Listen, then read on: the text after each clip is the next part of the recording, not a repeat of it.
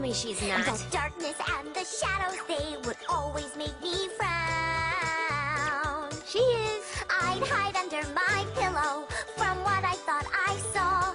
But Grammy Pie said that wasn't the way to deal with fears at all. Then what is? She said, Pinky, you gotta stand up tall. Learn to face